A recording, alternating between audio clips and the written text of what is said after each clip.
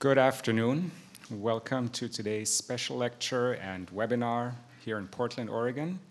And good day, good afternoon, good evening, or good very late evening to our global audience. My name is Patrick Hiller. I'm the director of the War Prevention Initiative by the Jubitz Family Foundation, and I teach conflict resolution here at Portland State University.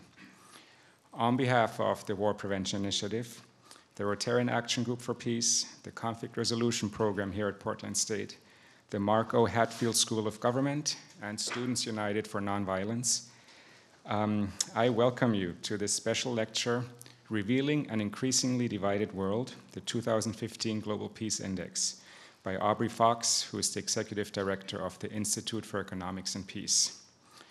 In our global audience, I also would like to welcome our friends from our networks we've invited through the Peace and Security Funders Group, the Alliance for Peace Building, the International Peace Research Association, the Peace and Justice Studies Association, World Beyond War, and many other academic and grassroots networks that we are involved in. Our event will be recorded and made available on our websites probably within a few days afterwards. So after our introductions, we'll have the main uh, presentation by Aubrey Fox, and then we'll have three discussants uh, who will discuss the presentations and then also open the Q&A session. And there should be ample time for everyone to get the questions in also. Here at the War Prevention Initiative, the program I direct, we operate under some underlying assumptions. Two of them are we are at a stage in human history where we can say with confidence that there are better and more effective alternatives to war and violence. And also, peace science and peace education provide a path to a more peaceful and just society. So, we actively contribute to peace science and public scholarship on war prevention issues, and we provide evidence based information on peace and conflict issues. One key area of our work is the advancement of the global peace system concept. Uh, so, this is a concept where we have numerous undeniable trends in constructive conflict transformation, social change, and global collaboration. Today, we will hear about the Global Peace Index, which ranks the nations of the world according to their level of peacefulness based on a variety of qualitative and quantitative indicators. Work like this contributes to our understanding of what causes war and what the conditions for peace are. With work like this, we can actually help change the language and ultimately the behavior on all levels.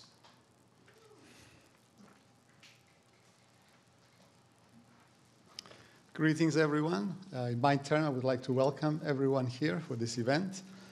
Um, I am here in a dual capacity uh, as the director of the Conflict Resolution Program here at Portland State, but also as a part time executive director of the Rotarian Action Group for Peace.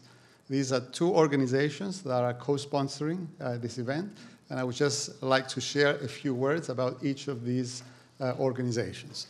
Uh, the Conflict Resolution Program is part of a long tradition of uh, academics and practitioners uh, who have ventured out to develop the fields of peace and conflict studies and conflict resolution to raise it to a credible academic level to develop theories, a range of theories for understanding the conditions under which conflict occurs, and to also develop strategies and perspectives and instruments that can facilitate peace resolution and peace building. The Rotarian Action Group for Peace, on the other hand, is a more practical and more action oriented organization, hence the name, Rotarian Action Group for Peace. It is a semi autonomous organization under the umbrella of Rotary International. Uh, it has a worldwide uh, infrastructure in terms of the people it serves. Uh, Rotary is one of the largest civil society organizations in the world. Uh, it has various areas of focus, one of which, which is the focus that uh, leads the Rotarian Action Group for Peace, is the area of focus entitled Peace conflict prevention and resolution. Um, I would also like to add that over the last month, uh, a collaborative effort uh, has come to fruition that brought uh, the conflict resolution program uh, of Portland State and the Rotarian Action Group for Peace together in a memorandum of understanding through which we will seek to engage in collaborative activities, projects, research, placement of students uh, in, in uh, internships, uh, in an attempt to bring theory and practice together by the collaborative efforts of these two organizations. The effort, I believe, will build capacity for both academia as well as Rotary. And this event is one such example of uh, this collaboration that brings it to you here and our global audience. Uh, but before I close, I would like to also extend a word of thanks uh, to Al and Ray Jubitz from the Jubitz Family Foundation for supporting not only this event, but several other uh, activities involving peace building efforts in various sectors of society. Uh, I would also like to extend uh, our thanks to Dr. Birol Yeşilada, who is uh, one of the discussants from the Hatfield School of Government, and to Adam Vogel from the Students, Students Union for Nonviolence, uh, who agreed to co-sponsor this event. And of course, I would like to also thank the entire, entire team of the War Prevention Initiative, uh, which worked uh, ceaselessly to put all the details together for this event. Uh, but before I close, I would also like to acknowledge uh, the presence among us of the chair of the Rotarian Action Group for Peace, uh, Mr. Gordon Cran, who traveled all the way from Toronto to be with us today. So without further ado, we can move to the next part of our program. Thank you.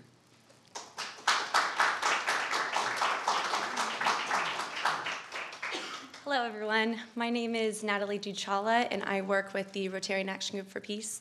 And I'm also a second year conflict resolution graduate student. And it is now my pleasure to introduce our main speaker. Aubrey Fox is Executive Director of the United States Office of the Institute for Economics and Peace, a nonprofit think tank dedicating to shifting the world's focus to peace as a positive, achievable, and tangible measure of human well being and progress. The Institute for Economics and Peace is best known for publishing the annual Global Peace Index, the world's leading measure of national peacefulness. A published author, he also has exten- extensive experience in the nonprofit sector. For nearly 15 years, prior to joining the Institute for Economics and Peace, Aubrey was a member of the senior leadership team of the Center for Court Innovation, an organization which helps the justice system aid victims, reduce crime, strengthen neighborhoods, and improve pub- pub- public trust, excuse me, and justice. His work included launching the Center for Justice Innovation, an institution that seeks to promote thoughtful criminal justice reform in the United Kingdom. His work has appeared in several newspapers, magazines, and journals. He also is the co author of Trial and Error and Criminal Justice Reform Learning from Failure. It is our honor to welcome Aubrey Fox and Aubrey, we hope that your two year old daughter is staying awake to watch you back in New York.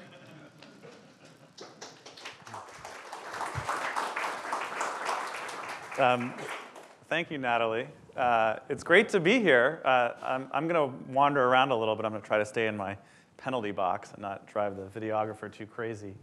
Um, before I begin, I, I did want to thank, uh, in particular, Al Jubitz and Patrick Hiller for putting on this wonderful event and for inviting me uh, to come to Portland. It's such a pleasure to be here and, and to see all the amazing work that's being done here, whether it's the War Prevention Initiative or the, the Rotary Action Group for Peace uh, Conflict Resolution Program. It just feels like such a, a hub and a center for, for peace activity. And that's terrific uh, for me to see because one of the things that uh, we've been thinking about and talking about, and talking about with Patrick in particular, is this idea of the growing professionalization of the peace field.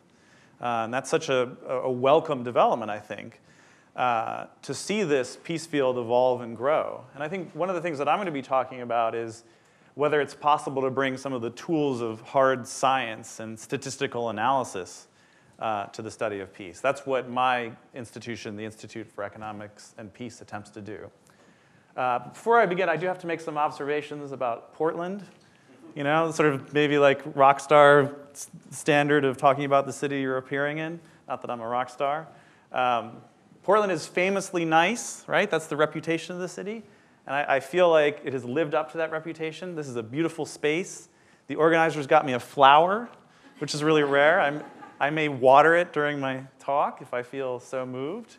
Uh, my, uh, Natalie mentioned my two-year-old daughter. She loves trains, so when the trolley trundles by, I feel like she would be extremely jealous uh, of the fact that I'm here and that she's not able to see the, the trolley go by.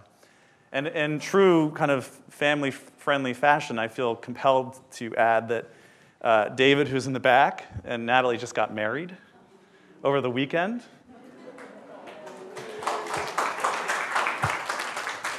And they're, they're here. I don't know if this counts as a honeymoon. I, I hope not. okay, so that the jokes portion of my presentation is now over. Everyone can now relax.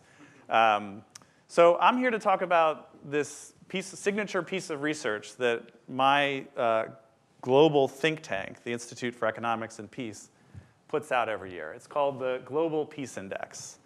Uh, and I'm going to be presenting the findings from the most recent edition of the Global Peace Index, which is the ninth edition. Uh, and it comes out every year.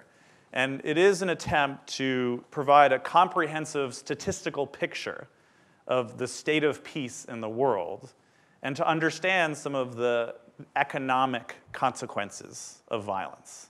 What is violence costing the world economy? Um, and you'll notice again that I'm using the language of numbers. And our, the title of my organization is the Institute for Economics and Peace. And so I, I just want to pause for a moment and talk a little bit about that. One of the things that my organization is trying to do is really bring a kind of hard and sharper focus to the study of peace. So I think the idea is that in, in some instances, peace has been kind of caricatured, probably unfairly, as being very abstract and aspirational. Um, but what we think we may be able to add is more of a hard nosed look at the facts about peace. And you know, there's an old cliche that if you can't measure something, it won't matter. If you can't track something over time, people won't be able to know whether things are getting better or worse. Um, and so our goal is to bring that kind of framework and mindset um, to the study of peace. And I think you all can sit in this room and ask yourself whether or not we're succeeding. It's a fair question because it is, in fact, a very difficult assignment. Um, when we talk about peace, we're looking at the intersection of a lot of incredibly complicated global dynamics. And one of the things that we try to do, again, as an institution, is take a lot of very complex ideas and present them in a simple, easy to understand way. And so I think that our, our assumption is that by doing so, we're adding to the stock of public knowledge and we're adding to understanding. But it's fair to ask if we're simplifying things too much. What are we leaving out? What are we choosing to put into our analysis? Um, and so let's go into some of the things that we found in this uh, Global Peace Index. So again, just a little bit more detail about the organization that I work for. We're an independent, non-for-profit think tank dedicated to building a greater understanding of the key drivers and measures of peace and to identifying the economic benefits that increased peacefulness can deliver.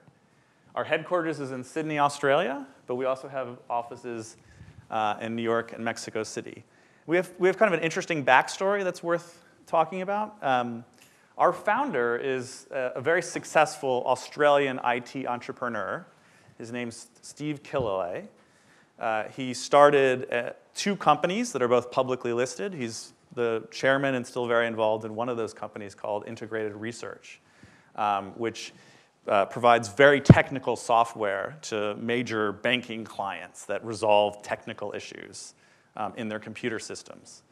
So he's, a, he's kind of a, an engineer, he's a numbers guy. In his business life, he's always built his businesses on the basis of metrics, understanding the size of his markets, understanding what kind of profit margin he can expect, having very specific and targeted strategic goals for each unit of his business operation. And Steve is also has this other side of himself, which is a, an avid surfer, peace lover, someone who's very engaged in the big public issues of the day. And he started a charitable foundation which allows him to travel all over the world. And he started to ask himself as he went throughout Africa and many of the countries where he, his charitable foundation is active, you know, is there a tool out there that can tell me whether country A is more or less peaceful than country B? Is there a ranking that will tell me um, about the countries of the world and whether they're peaceful or not? He couldn't find it. So, being an entrepreneurial guy, he decided I'm going to create it myself. And so that's the origin of the Global Peace Index. And out of the Global Peace Index, the Institute for Economics uh, and Peace was born. So, I think in a way, that's another interesting comment on the professionalization of the peace field, that it's starting to bring in new kinds of skills and new kinds of people um, into its orbit. And that's, again, I think, an enormously uh, positive development. Okay, so I mentioned that the Global Peace Index is in its ninth year. What we do is we rank 162 countries that covers about 99% of the world's population. Um, and we use 23 indicators uh, that are weighed on a one to five scale. One is good, five is bad. Uh, it's developed by us, but we do it in partnership with a number of important organizations. So we have a, uh, an expert panel. That expert panel helps us decide on what indicators to include in our research and helps us decide what weights to give to each of the indicators. So there's an independent process outside of us that helps provide some accountability for the process. We also use a lot of data that's collected by the Economist Intelligence Unit. That's part of the Economist magazine group. They employ experts in countries around the world. And where there are gaps in the data, we prefer quantitative data. But when you're covering 162 countries, often these countries don't have the capacity to collect data in particular issues. We fill in those gaps with data that's collected by these country experts that are, that are employed by The Economist. Okay, so I, I, mentioned there are 23 indicators. They're in three different buckets.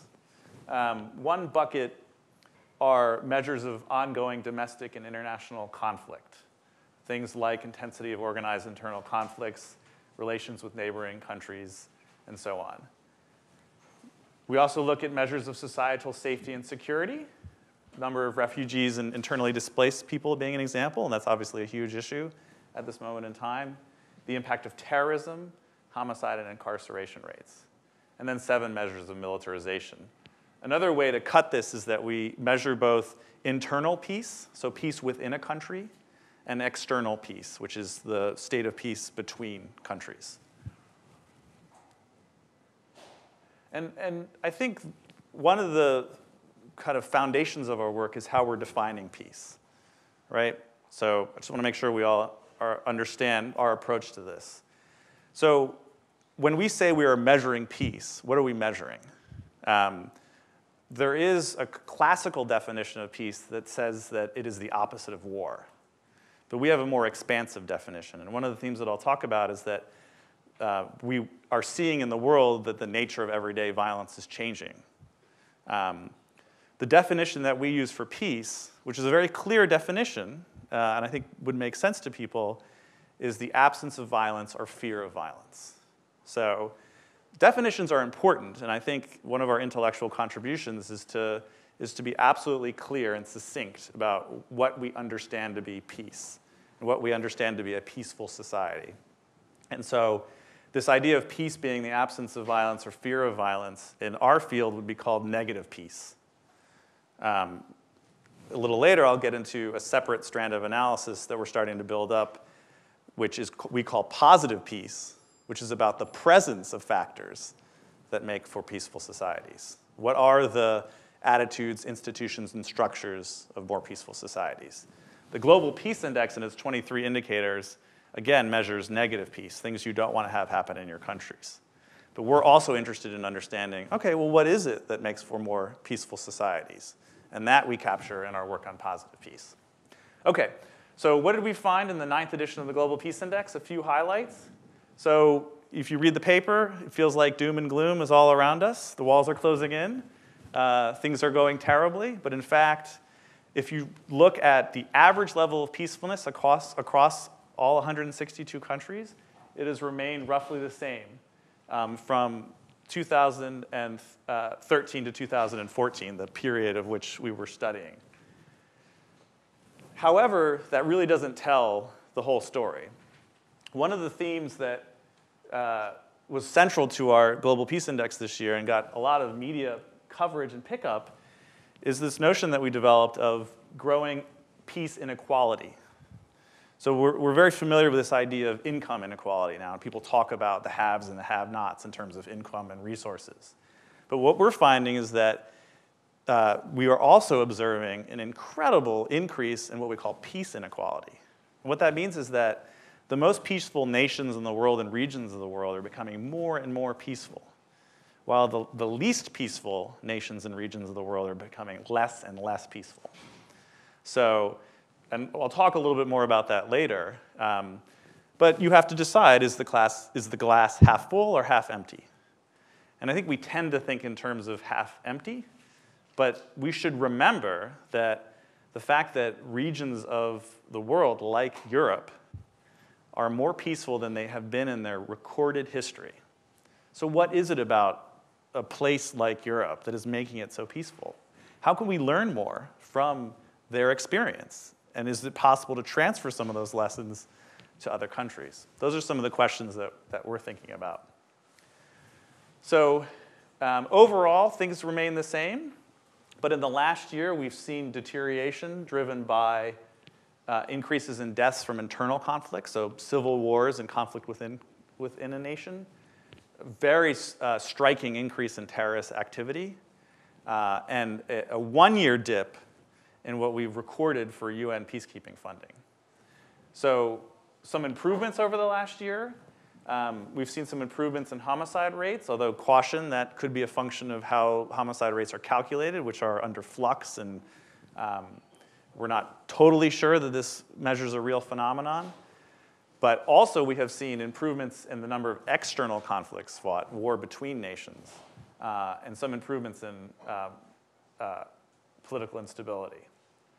So, no surprise here, Syria remains the world's least peaceful nation. Tiny Iceland is the most peaceful. So we, we uh, a little story, we had, uh, uh, I'm based in New York, and we had some events during UN General Assembly Week, and we had a little cocktail party. And the Prime Minister of Iceland came to our cocktail party just so he could take a picture with the chairman of our organization and tweet it out.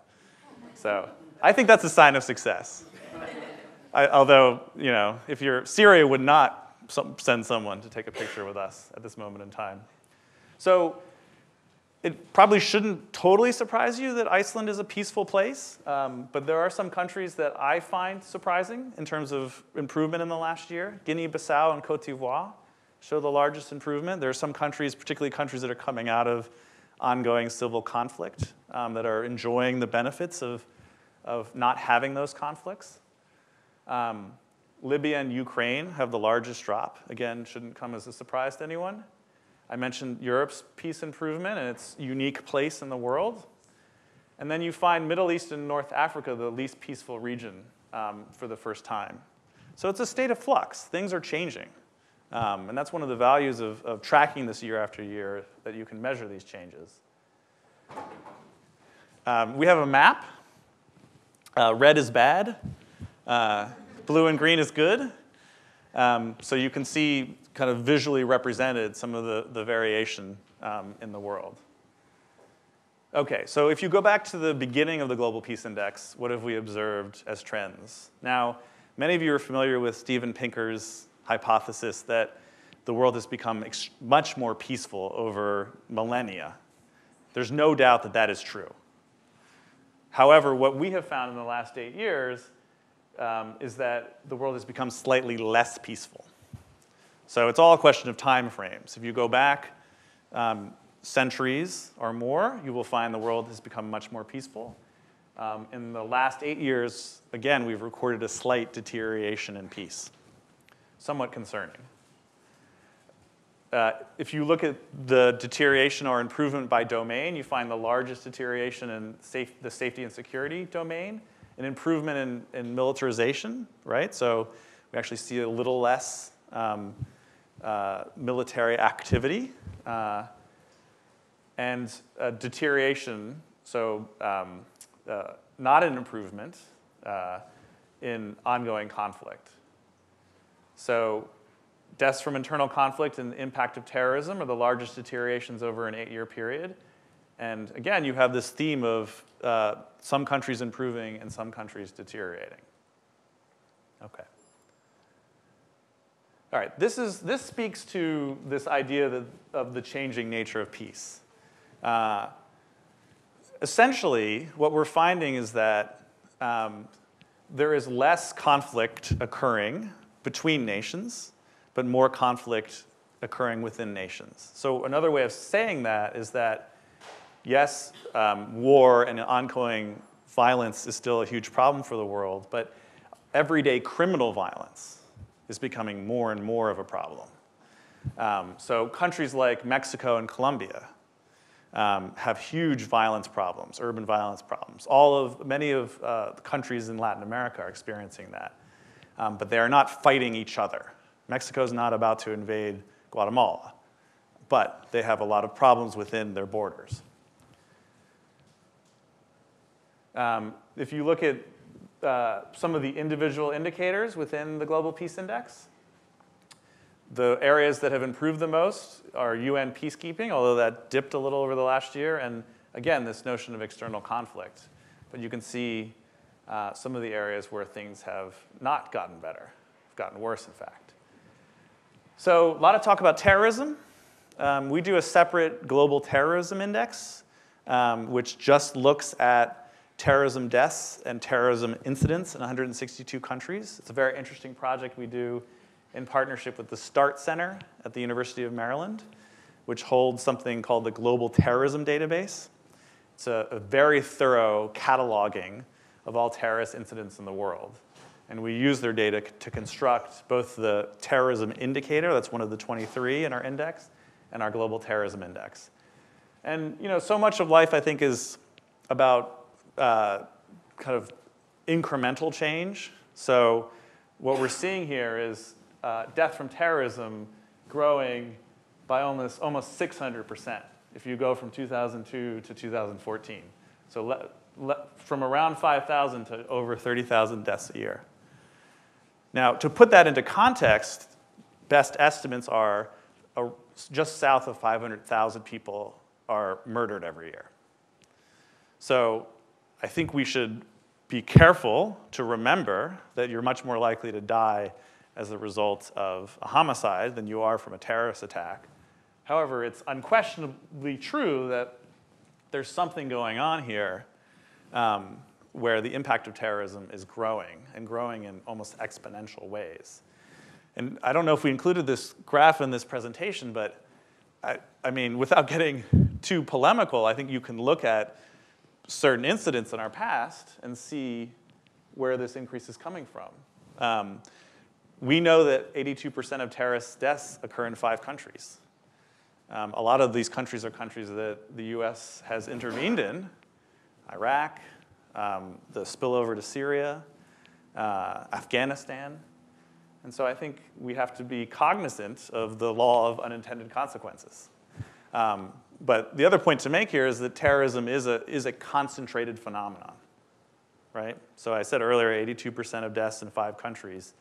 Two thirds of terrorist activity um, is generated by five terrorist groups. Um, okay, uh, refugees and internally displaced people, enormous increase um, over the last 10 years. It's, it's estimated and now is well known that half of the uh, citizens of Syria are either refugees or internally displaced. Uh, another enormous burden uh, on the world.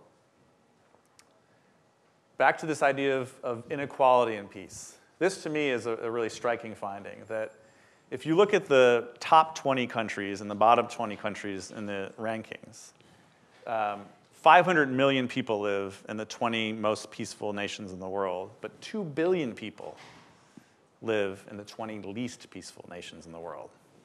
So I think that just shows you how striking um, this notion of peace and equality is. Um, and I think it's now popular to talk about the number of people who live on less than a dollar a day, for example. Like that has gotten into the argot. People talk about that a lot.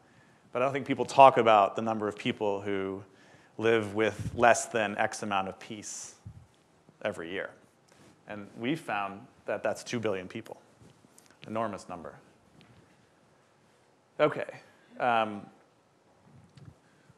we're, one of the things that we also like to do is kind of spot issues that are going to be emerging for the world. So we did a little analysis of the relationship between urbanization and peace. We know a lot more people are going to be living in cities than are living now by the year 2050. A lot of complicated debate in the field about whether urbanization adds to more peace or less peace. Um, the bottom line is that in general, over time, more urbanization leads to more peace because you have more economic activity and commerce, and those things tend to be associated with peace. However, worryingly, we also know that urbanization, when combined with poor governance, poor criminal justice systems, and high levels of corruption, lead to much less peace.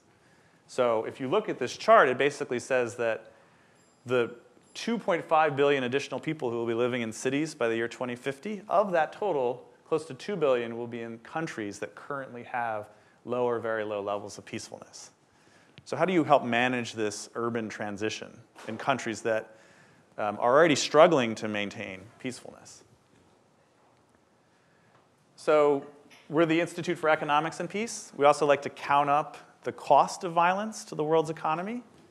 Um, again, this is part of our effort to um, make the case for peace in different ways. Um, peace is not just a moral uh, and human goal. Peace also has uh, an economic benefit that's quite vast, actually. So, in our estimates, and these are probably conservative, we account a global cost of violence at about $14 trillion a year, 13.4% of the world's GDP. And I'll get into how we do that in a minute, but I think the important point is that you know, we live in a world now where we think about sectors of public policy like healthcare and education. We say, you know, this accounts for X percent of our country's GDP. Are we getting enough bang for our buck? And that's essentially the healthcare debate. Lots of cost consciousness, a lot of debate about could we spend less and get more from the system. But we don't think of, of violence in the same way. I think we just keep spending the money and not really thinking about it. So that's part of our goal is to drive people thinking about it as an industry, in fact. Um, and are we getting what we want from it? Now, we, we estimate uh, the cost of violence in each of the 162 countries in the world. And one story I told earlier was um, I, I feel like we're getting some traction with this kind of analysis. There was a recent article in The Economist about Colombia's peace process. And it was saying, isn't it great? They're about to sign peace accords. Colombia might be able to turn a page. But according to the Institute for Economics and Peace, Colombia spends 18% of its economy on violence, and it really has to lower that if it's going to develop. So for us, that was a wonderful uh, citation because it communicates not just that we're being taken seriously by this establishment publication, but that people's mindsets are changing.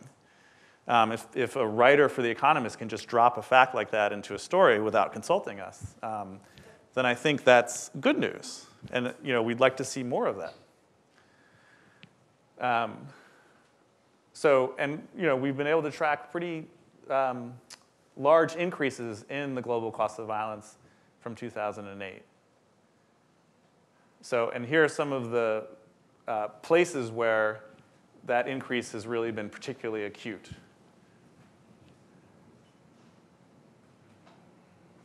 Okay, so this is, this is kind of a complicated chart, but it gives you a sense of, of how we measure um, the cost of violence containment. So just to give you a couple examples, um, military expenditure is obviously one big category, but we also look at um, direct spending on criminal justice, but what you would call the indirect cost of violence. So, homicides, for example. If you're killed at 30, the economy has lost your lifetime earnings. Enormous cost. And there's some quite good estimates of the cost of a homicide in the US economy. Um, some very good um, economic analysis that we've been able to use and apply across the world. Um, you also have things like internal security, so private security services. Um, you can see that UN peacekeeping is just a tiny sliver, right? So, um, and that has been growing quite rapidly.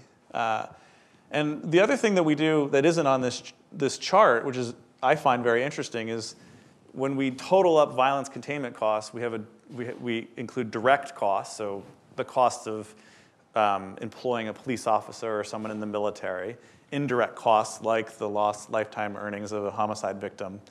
But we also have a multiplier effect.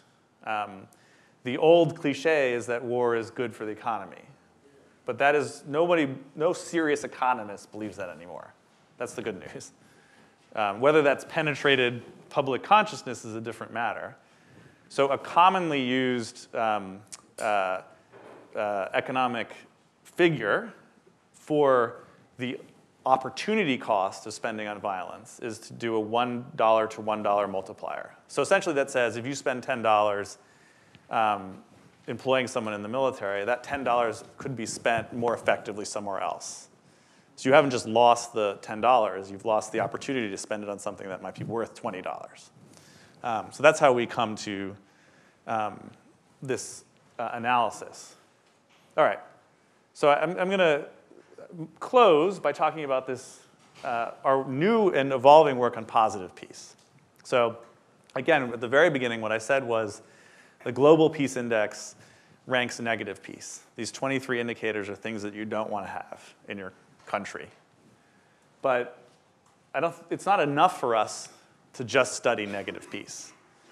Because what we want to do, in fact, is understand what steps we can take to build more peaceful societies. Um, and I think the broader aspiration is to really, you know, when we talk about peace, so often what we end up doing is, is studying conflict and violence. It's almost like an inevitable gravitational pull towards that side of the ledger.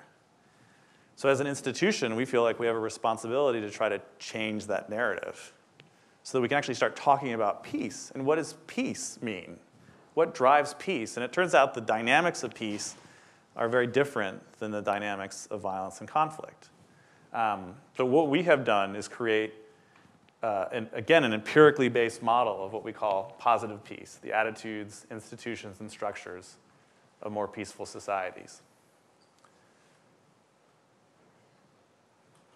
So um, here again, what we're saying is that we use a similar process for coming up with the positive peace index as we do for coming up with a global peace index where we've looked at thousands of data sets. And because we have um, the global peace index, we're able to, to through complicated statistical analysis, um, which really is just a way of saying that I don't understand it, um, we, we've been able to figure out which of the positive peace factors are most closely correlated with the negative peace rankings, right? So we're not we're not making judgments a priori about what factors we think are important in a society. What we're saying is that because we have this rich data set that goes back nine years, and we have a lot of data about positive peace, we're able to look at which of these many factors and variables seem to have the strongest relationship to movements and negative peace. So as with the Global Peace Index, with the positive peace index, we're able to rank 162 countries. We, we use 24 indicators, which are uh, grouped in eight domains. Um, and here, here are our eight factors. there's nothing up here that I think should come as a surprise to people. So what we're saying is that countries that have these attributes tend to be more peaceful. They have, a, they have an underlying institutional capacity for peace. So things like sound business environment, well-functioning government, low levels of corruption, acceptance of the rights of others, et cetera, et cetera, et cetera. And we know um, that these factors predict a lot of really interesting things. And I'll get into that in a minute. Countries with higher levels of positive peace do better in a range of ways that are actually quite fascinating. So um, here's the information presented on a map. Um, again, you look at the top 10 positive peace countries.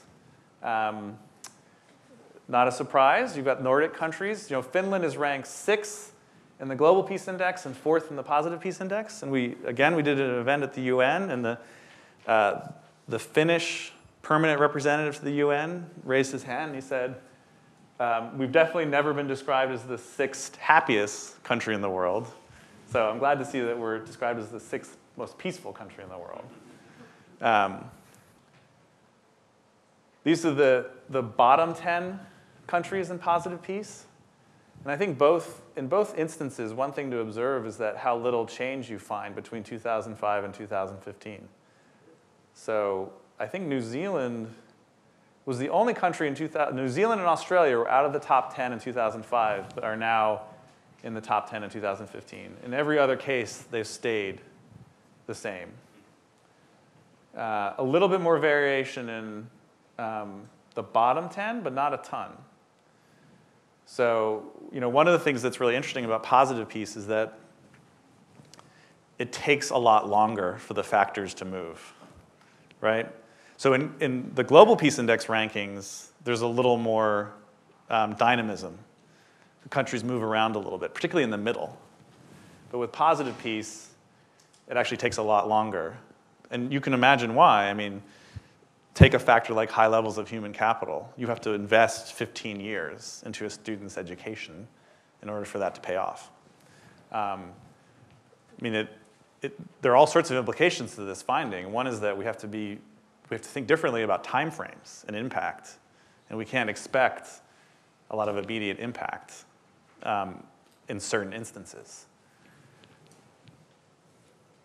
So here's another practical application of, of, positive peace. Now remember that positive peace, another way of thinking about it is a country's potential for peace. And that could be the same or different than their actual peace levels. Um, in fact, there are, one of the things that's really interesting about the model is looking at countries where the, their negative peace scores and their positive peace scores are out of whack. If you go back to 2008 and you look at um, countries that had a lower capacity for peace than their actual peace levels would suggest, so we would call that a positive peace deficit, of the 30 countries, by 2015, 22 of them had actually declined in peace. And so a classic example is Syria. So in the 10 years ago, um, in, the, in a global peace index ranking, it would have been ranked in the middle. Because essentially you had a country where their leaders, through authoritarian rule, were imposing a lid on the society, but the underlying dynamics of the society were quite turbulent. And so they, they ranked something like in the mid 80s in global peace negative peace, but in the much lower, like 40 places lower in positive peace. So in that sense, you know, I think it's foolish to over, um, be overly confident in, in anyone's predictive capabilities. Positive peace is an interesting leading indicator of both future falls in peace or rises in peace. If you were betting on a country to do better in the next decade, you might actually bet on Mexico. And we do a lot of work in Mexico. We have a Mexico Peace Index. We just opened a permanent office there. Mexico has much higher levels of positive peace than its actual peace levels would suggest. Okay, so again, you know, is the world becoming more or less peaceful? We, in the Global Peace Index rankings, we find small decreases in peace, but lots of areas of the world that are getting a lot more peaceful, and a lot of areas of the world are getting a lot less peaceful. The story for positive peace is different. It's much more positive. So you actually find 72% um, of countries that we measured improving their levels of positive peace between 2005 and 2015. And that's actually not an unfamiliar story to a lot of people who follow broad humanitarian trends, right? So many of you are probably familiar with the Millennium Development Goals, which guided the world's work um, through the United Nations from 2000 to 2015. They didn't get all eight goals that they laid out right. They didn't do it perfectly, but they made huge progress. So I think some of that progress is reflected in our positive peace scores. Another really interesting factor of the model is that um, if you have weak positive peace, not only you, this is a very, this is a very complicated chart. I'm going to make a simple point. I'm just going to confuse you and make you think I'm much smarter than I really am. But, but what that basically says is that when a country has low levels of positive peace, their peace levels fluctuate a lot. They're very volatile. Um, and so that suggests that countries with low levels of positive peace aren't very resilient. They don't, if a shock occurs, they're likely to really suffer from that shock. So an example might be um, if you look at Iceland, had the, the Iceland's economy melted, and yet they recovered really quickly. Japan had a tsunami and a nuclear accident. I mean, these are obviously hugely troubling events in the country's history, but they have mostly recovered. Haiti had a hurricane and hasn't recovered, essentially.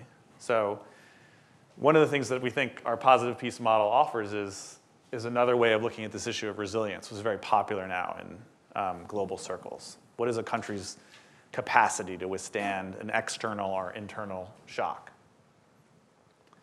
I mentioned the Millennium Development Goals. There's, there's a lot of um, correlation between a country's ability to meet its MDGs and its level of positive peace. And this has been an interesting debate that's occurring within humanitarian and development circles, where essentially now there is um, a new consensus that you can't have development without peace, nor can you have peace without development. So in the new version of the Sustainable Development Goals that were just passed by the United Nations and will go from 2015 to 2030, they added an explicit peace goal. So the old Millennium Development Goals were very focused on uh, humanitarian issues, girls' access to education, maternal health care, um, et cetera, et cetera, um, income. Uh, the new framework has all those goals, but it also has an explicit focus on a country's ability to achieve peace within its borders. And that is very much driven by this acknowledgement that countries that aren't at peace, that have a lot of conflict and violence, they can't, they don't function, they can't meet humanitarian goals. You can't separate these two things out. All right, so um, this is one of the more interesting findings, I think, and it speaks to some great work that you guys are doing here around the, the, um, the power of nonviolent resistance. Um, and I understand that you're having Erica Chenoweth uh, on campus in a couple weeks, and I would strongly urge each of you to go see her. She's a wonderful speaker. Um, a lot of great research that she's developed um, on the power of nonviolent resistance. What we did is we took Erica's data. She has an extensive database that looks at uh, nonviolent resistance campaigns, and we studied it through the lens of positive peace. And essentially, we found that uh, in countries with high levels of positive peace, they have fewer resistance movements. The resistance movements tend to be uh, more likely to be nonviolent, more limited in their aims, and more successful. As you go up, uh, go down the positive peace scale, you find that countries with low levels of positive peace tend to express their conflict through violent means, tend to have sweeping and essentially non achievable goals, and tend to fail. Um, so the point isn't that conflict shouldn't or doesn't arise in societies. Of course it does. The point is, how is conflict expressed and how is it resolved? Um, and I think this field of understanding the dynamics of nonviolent resistance is really about to explode. Um, and it's going to be fascinating to watch uh, how we understand this. We're able to look at some individual countries. So Myanmar is a country we're very interested in.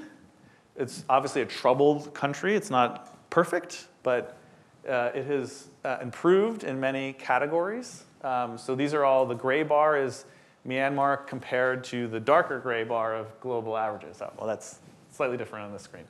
I'm not colorblind. um, so free flow of information in particular, uh, much uh, improved in Myanmar. By the way, that's one of the indicators for that is um, a percentage of the population that uh, has a cell phone, right? So that's interesting, right? That's sort of a kind of an accidental peace building technique. Give everyone a cell phone. Um, give them a sort of smart or semi-smart cell phone, and suddenly they have access to a lot of information. Okay, so uh, I'm almost done. So just want to summarize again what we do at the Institute for Economics and Peace. So again, we're peace metrics people. That's our kind of unique intellectual contribution. We measure and analyze peace. We look at the factors that create peace. Um, and we try to understand the, the lost opportunity costs of violence. and then it all concludes with action. So um, we are trying to get better at predicting country risk uh, and violence, trying to come up with better cost benefit analysis. Um, and hopefully that will lead to better outcomes. So uh, here are some of our research reports. Um, I actually would encourage you to go to our wonderful website, which is www.vision of humanity. I'm going to do a little free advertisement here. So we have all of our indices on this website. So you can see the Global Peace Index, the Terrorism Index. We have three country indices. And you can search. We have an interactive map. So you can highlight a country and find out what you want about that country. If, you, if I clicked on it, it would pull up all the indicators and the indicator scores. You can, you can either do that by the map or by just selecting a country, and you can even just look at whatever indicator you care about. And will tell you, the map will reorganize itself according to that um, indicator. So please go on visionofhumanity.org um, and play around with it. So thank you again.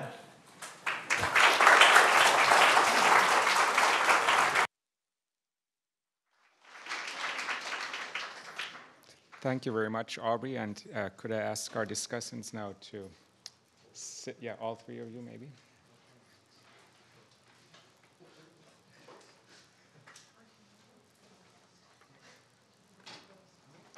Okay, I would now like to introduce our discussants for this evening. Over on your right is Rachel Cunliffe, uh, is a professor of conflict resolution at Portland State University. Her criminal justice activism and extensive research agenda encompass topics ranging from Oregon's death penalty to restorative justice and nonviolent responses to extreme violence. She runs a compassionate listening project with those entangled in the death penalty system and is also a trained mediator and facilitates victim offender, offender meetings. Birol Yeşilada is a professor of political science and international studies at Portland State University. He is also holder of the endowed chair in contemporary Turkish studies and director of the Center for Turkish Studies in the Mark O. Hatfield School of Government. Dr. Yeşilada has been an invited policy consultant at various departments of the U.S. government, the Council on Foreign Relations, the U.S. Institute of Peace, the RAND Corporation, Booz Allen Hamilton, the Nathan Associates, Barclays Capital, the World Bank, and is an academic associate of the Atlantic Council. Vandy Kanyako is professor of conflict resolution at Portland State University.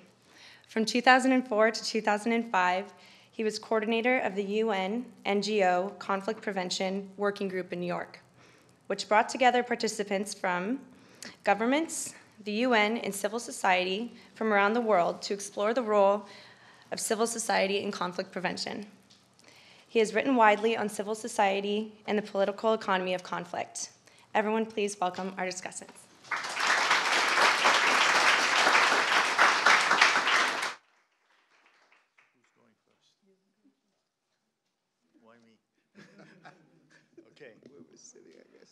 Well, it's, it's an honor to be here uh, among you and to be introduced um, firsthand. Was aware of the index and, and looked at it and used it in the past. And I have to tell you, uh, my comments will be based on the contribution of this work to our scholarly world. This is music to my ears. Um, I'm known as a numbers cruncher, um, come from science, into political economy and international conflict analysis.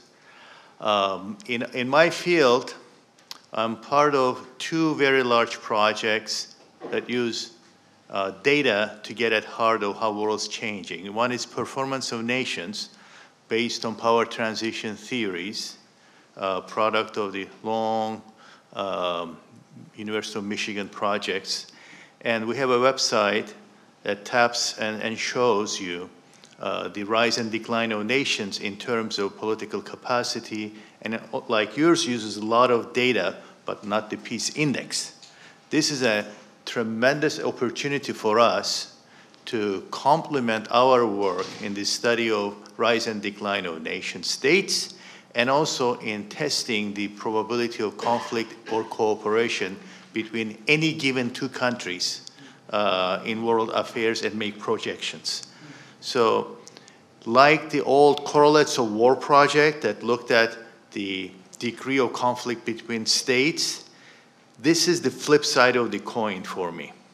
And it's, it's fairly new. Correlates of War project started in 1961. It's been going on. Uh, one of my former professors, the late David Singer, started it.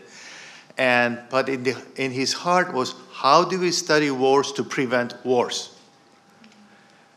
Well, there's another project that I think this study is going to benefit from, uh, and you might be in, in, your research team looking at this.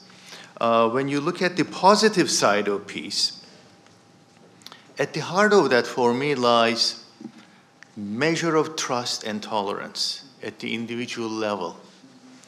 And that is often missed in the uh, data sets looking at the degree of violence and nonviolence in countries. Those are the products, but what lies at the heart of it beneath is often not measured, like the events data uh, that one can look at. This is much more powerful than the events data. And I applaud you uh, for getting this going. There is tremendous use for this, and I know my colleagues in, in the international relations, international studies world will be using this in years to come. It's getting better and better. Um, and just a comment, I think your research team, if you haven't looked at it, should tap into the expanding array of data sets we now have uh, from the World Values Survey. Uh, I'm part of that. I'm one of the PIs, European Values Survey, and the newcomers, the Arab Barometer, and similar ones that are emerging, and where individuals are tapped at the individual level, the level of trust. I was shocked to see the level of general trust in the United States has declined. Not surprising, but the trust level, you asked the question, can uh, ordinary people be generally trusted? Can you trust them? is at a 46% now in the United States in the last survey. And I suspect two years from now it will be a little lower. Um, and you know what pushes that? It's a domestic level of, and we can feel it, the rising tensions, divisiveness, and so forth, and tolerance or lack thereof. Um, it would be an excellent um, complementary measure, if you will, to the measure of positive peace. I was uh, uh, tickled when you said the measure of happiness. You know, and we ask that question: How happy are you? And then follow it with other, you know, financial happiness, health, etc. But it's an important thing when you think about it. You know, happy people don't go kill each other. you know. it's a degree of uh, there's some degree of trust there. In, in, you know, why are these countries that are high on your um, the positive peace are at the same time happy people? There's some underlying currents in, in that. This is not just for public information. This is going to open doors for us researchers in the field of peace studies scientific study of international processes. It's actually a field section in, in ISA. It's been looking for stuff like this. And not only me, my colleagues in, in this section of ISA are quite excited that this is continuing. Please don't stop it.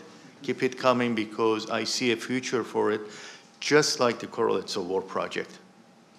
It's still continuing and getting better and better.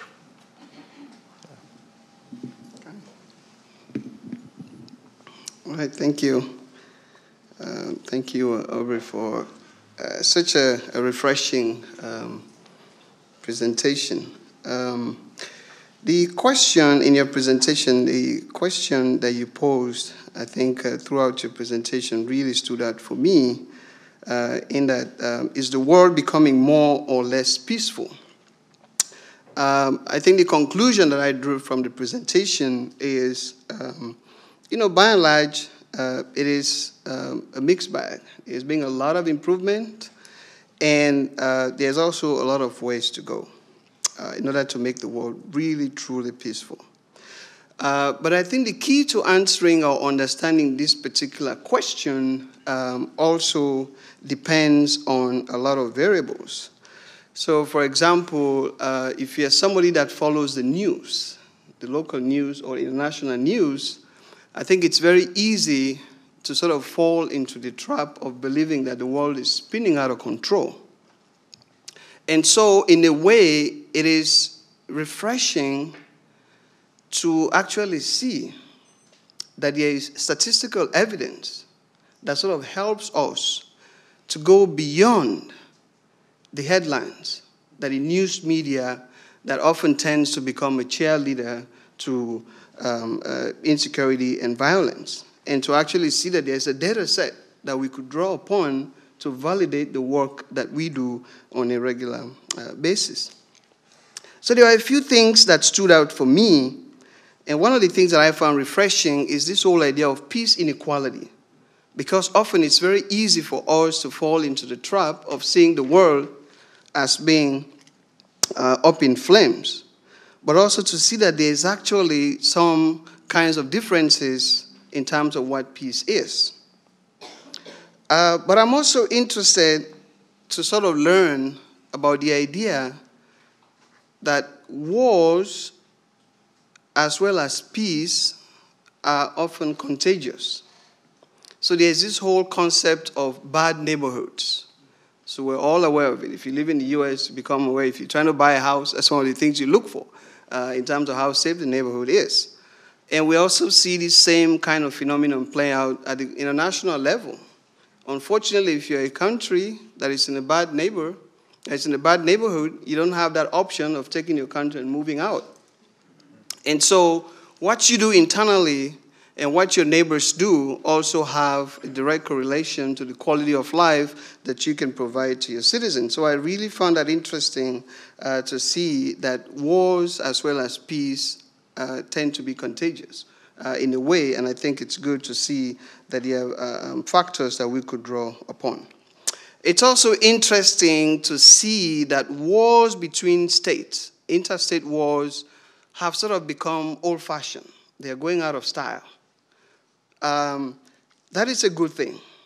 But of course, the other side to that is uh, we tend to have situations where the most powerful also tend to take advantage of the situation, and so they end up making the world uh, less peaceful. And so, if we can bring some of these lessons to bear on the international, uh, sorry, on the national um, internal systems, I think we can make a big progress in making the world much more peaceful. Um, there are a few things that stood out for me as well, and one of them is this whole idea of terrorism, which you talked about. Um, part of my discussion, um, uh, part of my interest uh, is in uh, Africa, uh, but also West Africa in particular. And so uh, we've seen how terrorism has also played out in that part of the world. So Al Shabaab in Somalia, but also Boko Haram in Nigeria, which is now also sort of spreading to other parts of um, of the region as well. Um, and that sort of helps to feed into this whole idea of insecurity in, in, in these parts of, uh, of the world. So I did a little bit of a, of a, of a research. Um, I over the summer, well, in April, I was in Nigeria um, and Ghana. And this past summer, in June, July, I was in Scandinavia. So I spent time in Norway, Sweden, um, Finland.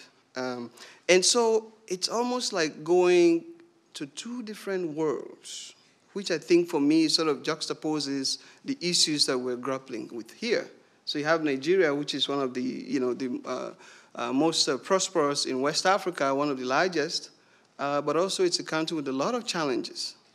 And then you go to um, Scandinavia, which you know is on the top of those rankings, and then you really see uh, where the challenges and the opportunities um, lie.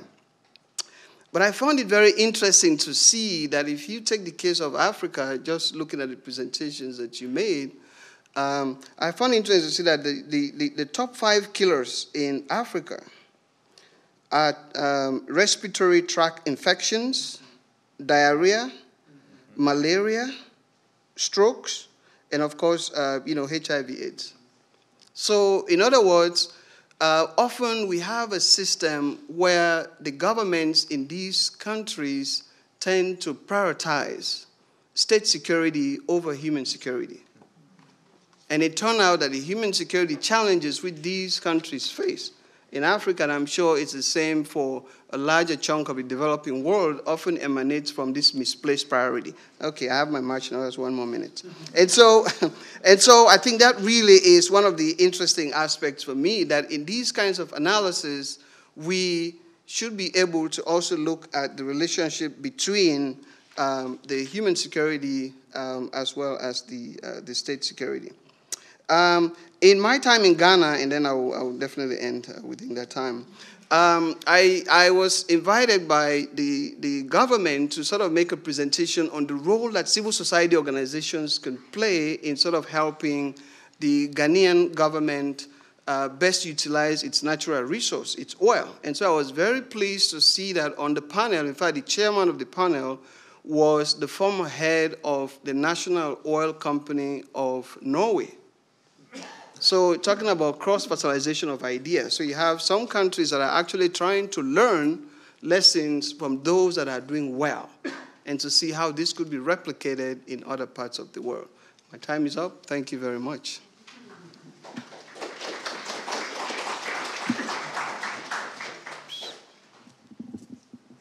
Thank you. Well, I'm very honored and a bit intimidated to be invited to be a discussant here. Um, my, um, my remarks are really related to um, professionalizing of our field, and uh, I really appreciate this presentation and your frame for it in that respect. My role in our graduate program is to assist with the field experience supervision um, and to look at careers pathways um, and how we develop those through our program. So um, this has been something I've been giving some thought to. Um, so uh, one of the things that has concerned me coming into the field of um, peace building and conflict resolution has been um, the lack of research. we have a lot of really well-intentioned people who have very important ideas, and um, many of those people, many of the programs and the, the instigation of those programs comes from places of privilege. And, um, and we have similar ideas to each other. What makes sense to us makes sense to the funders. And there's um, a great deal of thought about how we create programs, which generally are thought of as being what people do, and um, I think it's relatively new in our field that we're starting to think about what those outcomes should actually look like. And what I've appreciated a lot about what I've read with relation to the, the Peace Index is this visualization of what it is we're aiming at. Um, and beginning to really think about what our theory of change is. If we have that vision of what it, what it is we're aiming at. How do we work back from that vision to the activities that we should be engaged in, rather than starting with activities which make lots of sense to those of us who actually aren't consumers of the service, um, but may not speak so directly to people who are consumers of the service. And um, so they may have sort of public relations appeal, but less appeal actually on the ground. And I think this speaks to some of what you were talking about. Um, Vandy with respect to this prioritization of um, national security over human security, that we really just aren't looking at the uh, enough and we're not measuring closely enough um, what the human impact is of programming. And uh, so I really appreciate this frame which invites us as practitioners and also as educators to be thinking about how we design programs that really authentically create this opportunity for peace. Um, and to connect it with this data to what the conditions are that create peace so that we can think about how we allocate resources, how we allocate funding, and how we educate people. You know, what, what is it that we should be spending our time teaching if people are going to be prepared to insert themselves into these situations in, in such a way that what they do is effective? Um, you know, in this field, we have just not um, and perhaps it's because we've we've we're just beginning. We're emerging. We're an emerging phenomena. The um, the uh, field of of peace professionalism. Um, peace studies has been around a little longer, but now actually becoming peace professionals is an emerging phenomena in this system that we're trying to create here, a, a peace system, which can actually stand up to and challenge the war system that has been here for a very long time. Um, I think that this kind of database, nine years is a very short period of time. And um, I think that it behooves all of us to remember that, that although it's a fantastic achievement to have nine years of data, it's not long enough for us to really know what trends are. Um, that, uh, the, for example, the very uh, rapid escalation of, of deaths by terrorism that you showed us is still maybe a very short thing. This may not be actually um, a trend that we're seeing. This may still be an outlier blip. In 10 years' time, we may know that. We don't know it now. Um, certainly, it looks alarming right now. Um, but um, an observation that I have of policymaking is that we have a, a, a very regrettable tendency to have knee jerk policy reactions to um, outlier events, what turn out to have been outlier events.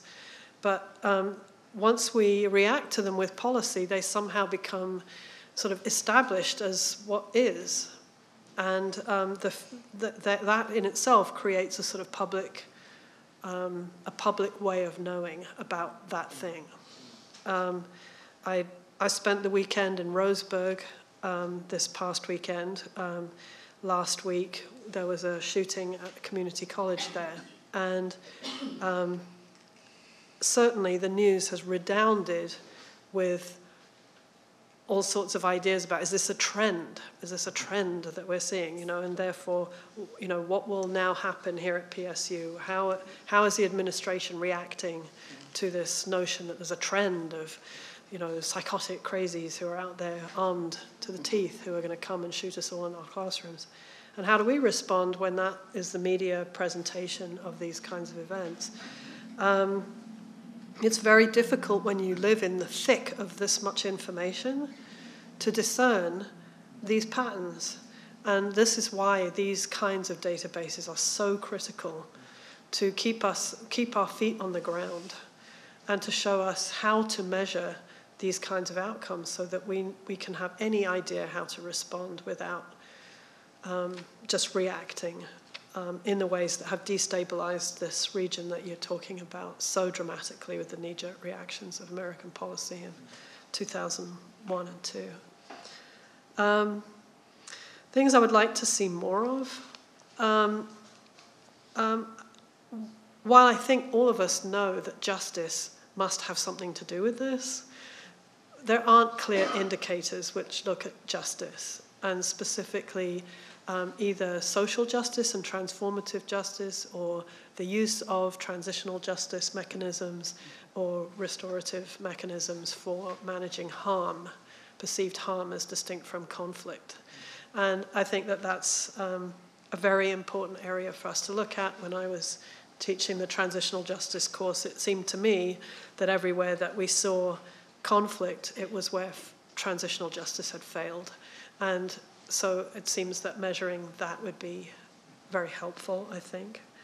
Um, I also, and this is the last thing I'll say, I know I've had my marching orders too. Um, I also think that um, you, you emphasize in, in the rhetoric of the Global Peace Index the importance of systems thinking and understanding um, these kinds of um, issues in, in a systems frame.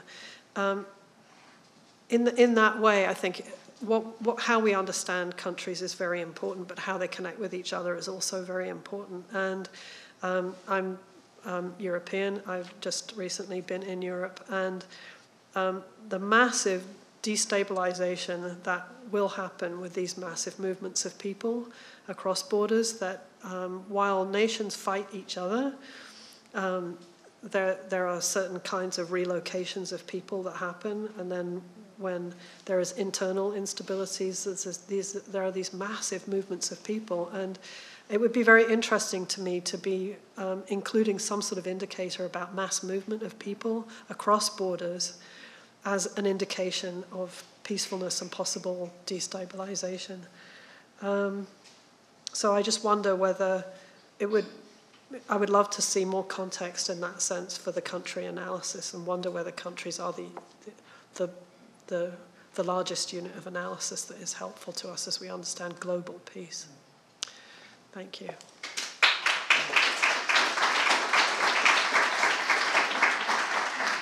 Well, thank you, Rachel, Vandy, and Birol for those really insightful discussions. So I would like to ask you, Aubrey, to come back, and we're going to start our question and answer part now. But I would like to give our discussants the privilege to ask the first questions of Vandy, if you have, uh, of Aubrey, if you have specific questions for him now.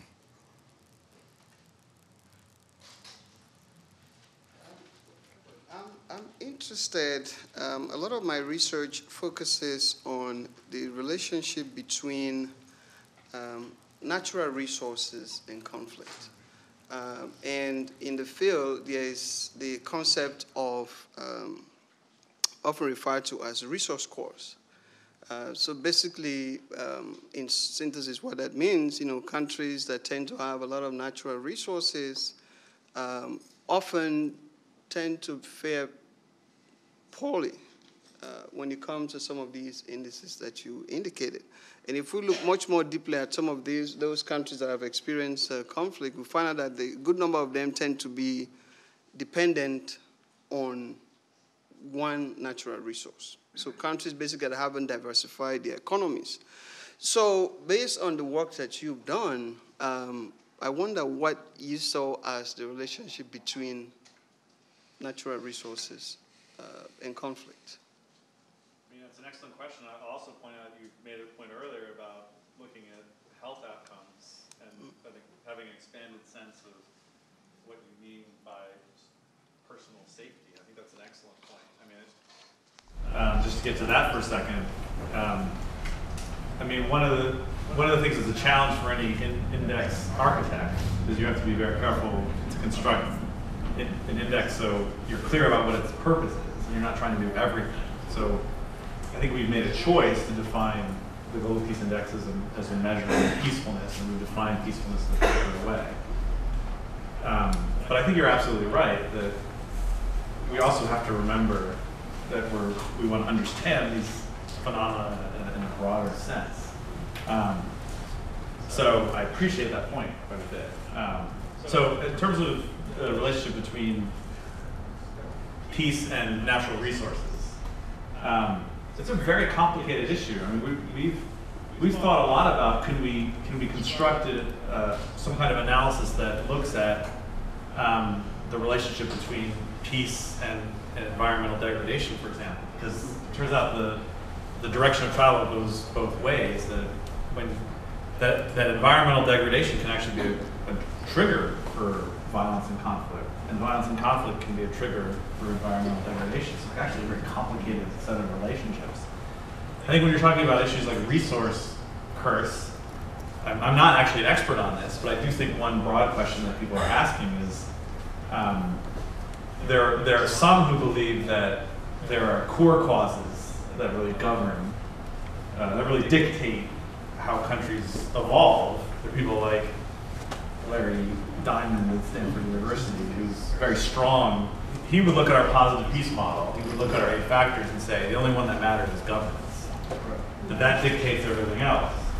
And so what he would say, I would imagine, is that in contrast to some scholars who believe that countries are either burdened or blessed with certain natural resource uh, qualities, he would say really it's just about governance.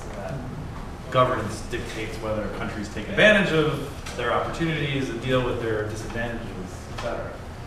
Um, I'm not sure what more I can add to the debate than that, except to say that, again, we would really like to tease out some of these relationships between environment and conflict, because you know we think those are critical. And I guess the last thing to, to say is that if you're looking for a reason to care about positive peace, I mean, what greater shock are we going to face in the next decades and centuries than the shocks related to climate change? And so are our countries ready to? Uh, our body pack is needed. Our country's able to um, withstand the shocks uh, related to climate change is actually um, a really interesting question, separate and apart from whether we're actually able to reduce the impact of, of climate change. So, anyway. I want to follow up on that. You mentioned Larry. Yeah. Um, I want to come to a couple of things that pertain to that research that my research uh, also touches upon in power transition. This thing is falling. Mm-hmm. um, the, the democratic peace theory, for example, assumes that you'll have a more peaceful world as uh, political systems become more democratic, and it is very uh, specific about what kind of a democracy. Yes. Um, others say, well, it doesn't matter. It's the degree of government or the capacity of government. And ability to, to effectively reallocate resources to keep people happy. Uh, the late Sam Huntington was one of the early ones to raise that issue in the 60s. Um, well, you, you may, as you mentioned, have um, a lid on a lot of frustrations. Mm-hmm. Your institutions are very effective. You're making decent reallocation of resources but there may be underlying tensions that are never able to be uh, aired out. And the minute that lid, lid is taken off, things m- might blow up. Mm.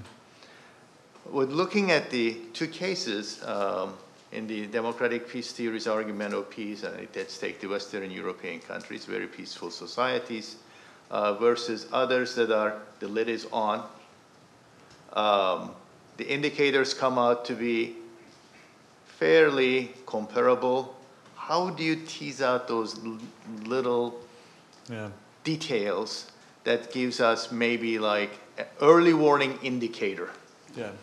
Like the early war- warning indicators of conflicts that the, those who study wars have been working on. Do we have things like that to look for uh, in the study of scientific study of peace? Uh, I want to emphasize that because for too long peace studies have been viewed in, out there as loosey-goosey, touchy-feely, soft, etc., etc. This is a serious scientific research. And these are kind of things we have to uh, come to terms with as we take this down the road. Has re- your research team come um, head-on clash with these kind of early warning indicators that okay, we got to be careful about there and, or here? Well, so a couple answers. One is, so we actually do look at um, whether countries we would categorize as full democracies are more or less peaceful, and we also look at what we call hybrid democracies and authoritarian regimes. It is true that on average, full democracies are, are more peaceful than other types of governance. But interestingly enough, in some cases, hybrid regi- regimes, which kind of mix and match some qualities of democracy and some qualities of authoritarian governments, are actually quite in flux and can be less peaceful in the short term than authoritarian regimes. So it's, if you just look at the negative peace rankings, it's, it's not so clear that the more democratic apps you always are, the more peaceful. The prediction game, which again we have to be very modest about um, because it's very hard to predict the future.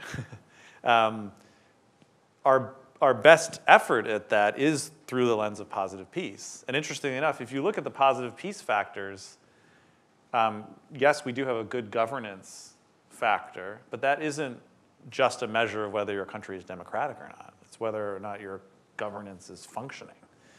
So um, I think it's important that we're, it, again, back to like, what are you trying to accomplish?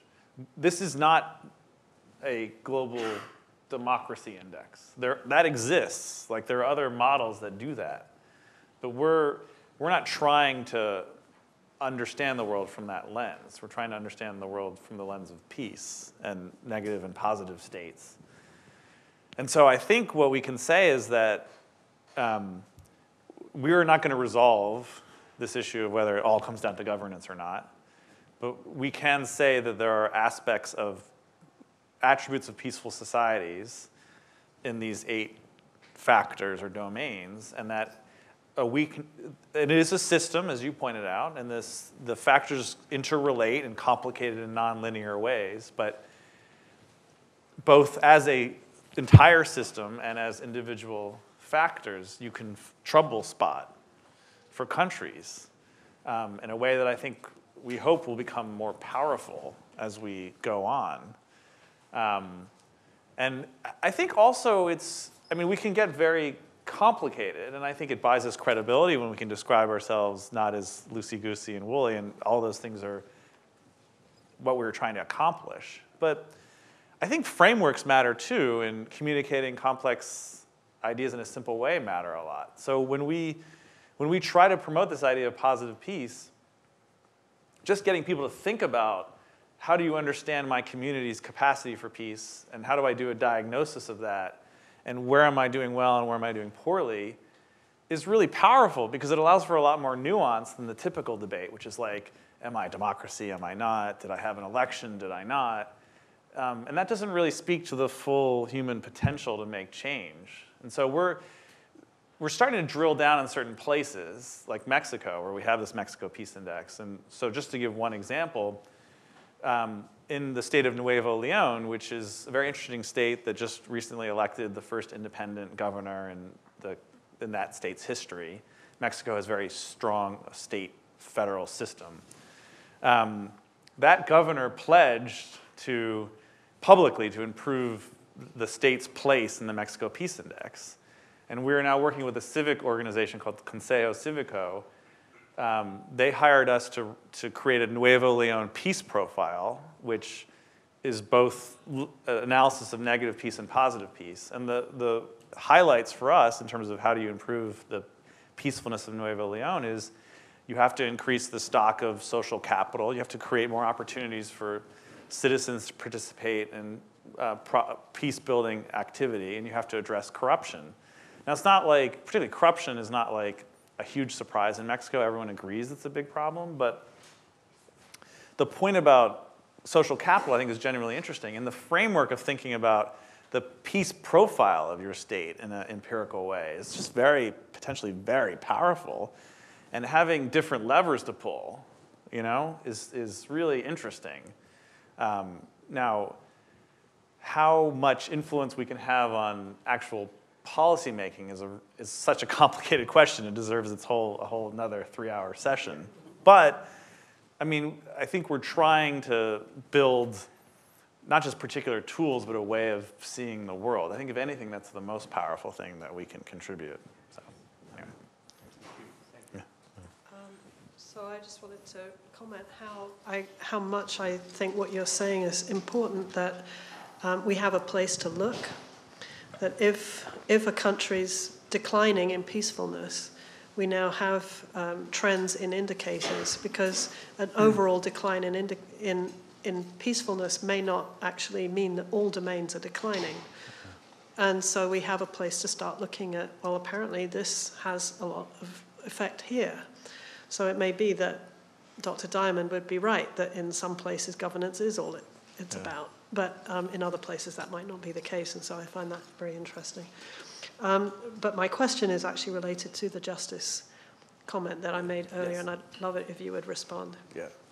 So um, I think those are a great comment, and it's close to my heart because, um, as was mentioned in my introduction, before taking this job, I spent 15 years working for an organization called the Center for Court Innovation, which promotes criminal justice reform mostly in New York, but increasingly internationally through the court system.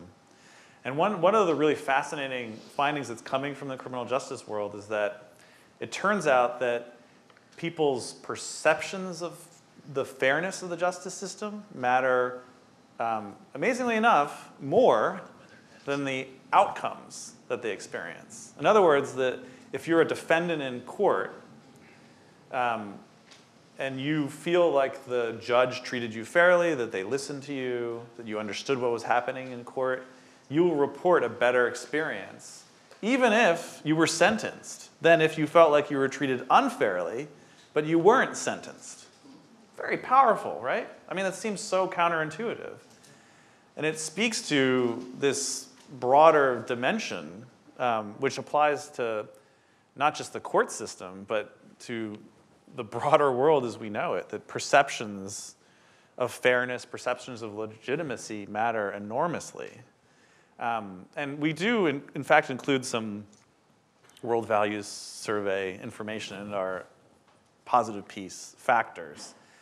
But I think we're only beginning to understand how to capture these ideas about um, the legitimacy of this the system and people's perceptions of, of fairness. Now, if I mean, I will point out, I guess, a competing index which measures something different, and um, and I think quite well is the World Justice Project, with which has a rule of law index, where they're measuring the quality of the criminal justice system in 100 countries. Um, and what they do, which is really unique, is they do um, surveys. They actually gather original data. They don't just um, collect existing data as we do. So they've done 200,000 surveys of citizens. And they ask them basically for their opinions about how well the justice system is functioning. And um, they're, just to follow up a little bit more about them, they're, they have a new project in Mexico where they're going to take that methodology and apply it to Mexico's 32 states because Mexico is a country that has actually completely revolutionized its criminal justice system. It's changed from the French model to an adversarial model. And so they're, they're going to be doing these surveys in the 32 states of Mexico. And so I think it's tremendously powerful that there's all this new data, new, all these new instruments um, that are coming together. And so, you know, I think we're, I, the optimist in me says we're the cusp of, of a much more powerful understanding of, of the dynamics of the world. And I guess the final thing point I make is that you made a really great point about like when is a trend a trend and when is it just noise. Um, and I don't know how long you have to wait to figure that out. But I mean, I think you're right. I mean, I don't think we know uh, if 32,000 terrorist deaths is the new normal or just a temporary phenomenon. Um, but I think we all have to be, we have to have a lot of humility. Uh, even about, I mean, this is, I mean, the, I guess I will say that this is, you know, one of the things that's really interesting about indi indices, I'm just gonna say one last thing, and then I'll stop. One of the things that are really interesting about indices to me is the schizophrenic way that they're treated. So you've been very kind but a lot of people in the academic community tear them apart, just hate, hate it, hate indices. Um, and I've been on the hot seat on many occasions. Um, and they, you know, there are valid reasons for their critique, um, and you can have a very active debate about it. So that's on the one hand, this sort of academic dislike of indices. On the other hand, there's this sort of public and media, like, incredible willingness to trust the facts that are presented without even doing the most basic quality control or understanding the facts that you're using. And I think we try to follow best practices. We're transparent. There's an independent kind of auditing of our processes through our expert panel. We publish all our data. You can do your own analysis of it. Um, but just as a word of warning, there, I mean, there are a lot of indices out there that don't follow those rules. So how do, where's the middle ground between a dis, total dismissal of an index and a total acceptance? That's, to me, is a very interesting question. Yeah. This is a very serious index, and uh, when people try to tear you apart, you can just tell them, get breath and You're much more direct than I am.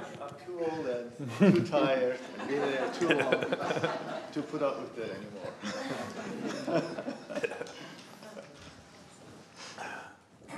so I'd like to open it up now to our audience, and please uh, raise your hands and uh, only ask a question when you actually have the microphone, because we are uh, recording it also and want to make sure that it's being recorded. Thank you. Thank you, my Brian Hedman. Um, And I, I want to applaud you. I, I believe it was John Kenneth Galbraith who said that things that are measured tend to improve. So just the act of measuring will hopefully have a positive impact. But there are a lot of underlying uh, forces that are, are driving these things. So I have a couple of, uh, of questions that I'd like your uh, response to. One is, have you looked at you know, population density versus the peace index? Yes. And the other is economic. There, there are a lot of economic factors that are pushing towards uh, more conflict. Um, you know, the, the, the often called military-industrial complex. Uh, and have you looked at, you know, the path to peace? How, how do we get beyond this? How do we deal with displaced military workers and things that, are, that, that would actually happen if we move towards peace? I mean, we, we'll be putting people out of jobs, things like that. And so we have to actually deal with that because it's disruptive in its own right. Hmm. So it turns out that smaller countries are tend to be more peaceful than larger countries, and it actually it goes up the scale. So smaller countries are more peaceful than medium-sized countries, are more peaceful than larger-sized countries. And I think, um, I mean, one observation is just that it's it's a little harder to kind of govern or pull together um, a larger country. I mean, there are exceptions, um, and I wouldn't overstate the findings, but it is a trend, in fact, and I think pretty interesting one. I think the question of where do we go from here, how do we build peace, um, is it's an interesting one. So we have this positive peace framework that we've been working on, but we're really at the beginnings of how to understand it and how to put it in motion, right? I mean, we have to be very careful not to use a kind of linear analysis where we say like, oh, pick this factor and go first.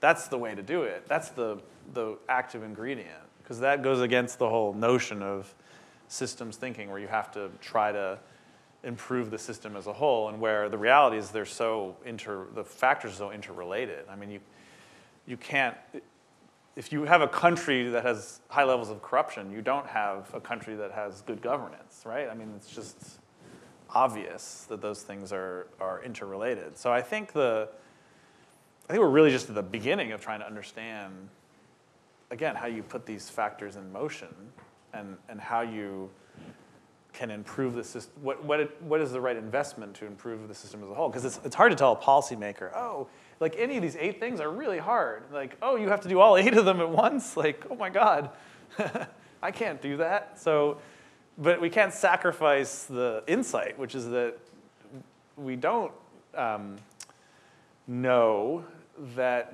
it's not the case that you can just work on one factor at a time. We, we just had a positive peace conference at Stanford University. This is where I, Larry spoke. And one of our, uh, one of our contributors there is a guy named Rob Ricigliano, who's previously the University of Wisconsin, is now, he has the greatest title of all time. He, he works for the, something called the Omidyar Group, which is uh, the group of uh, organizations that's run by Pam and Pierre Omidyar, who founded eBay. Um, and he is the systems coach for the Omidyar group.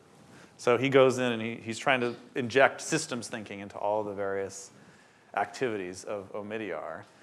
And the, the challenge with systems is that it's a very complicated way to describe the world and it can become so heady that uh, it's very hard to make sense of it.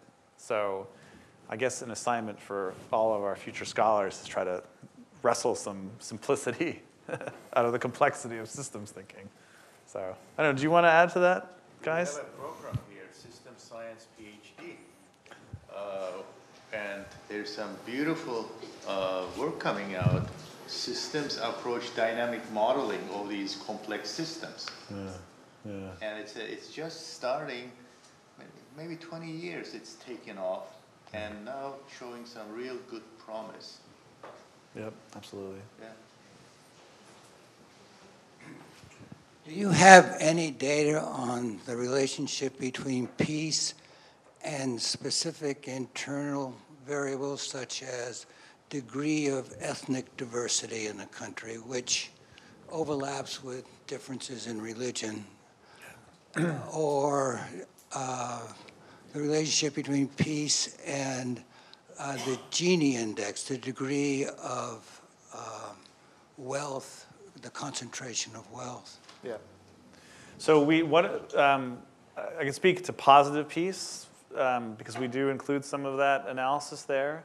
So one of the eight um, factors of positive peace is um, acceptance of the rights of others, which we measure through kind of gender equality is a, is a prominent part of that, but it's also about how welcoming the society is to foreigners, which is kind of a proxy for its um, willingness to be a diverse society. So that is very strongly correlated with peace, in fact. Um, the other, sorry, the other question was about, uh, yeah, so Gini, Gini, Gini coefficient is part of our analysis, though interestingly enough, the, the relationship between um, economic growth and wealth and peace is very complicated.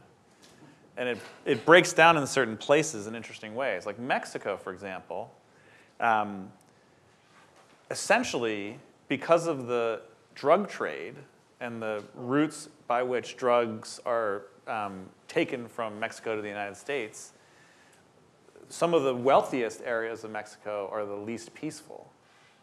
Um, and so you actually can't really make a simple mapping between income and peace in Mexico. Um, and in fact, if you, some of the, um, the, the relationship between wealth and peace in Mexico has basically broken down. So some of the regions of Mexico that are very rural and very poor are actually peaceful, but they also have low levels of positive peace. So there's a lot of complexity in that answer. Do you know what I mean? So um, I guess it just goes to show that the science of peace is really at a beginning period.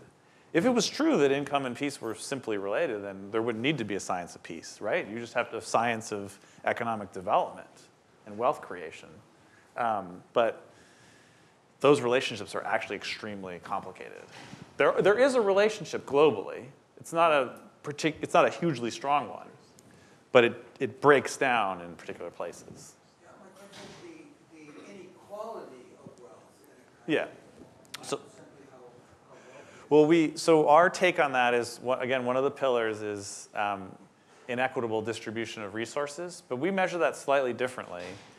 What the measures we're using is, for that, are the degree to which members of society have access to public goods like healthcare and other important public services. So um, we found that to be more strongly correlated with peace, access to public goods, than, than income levels and income inequality per se.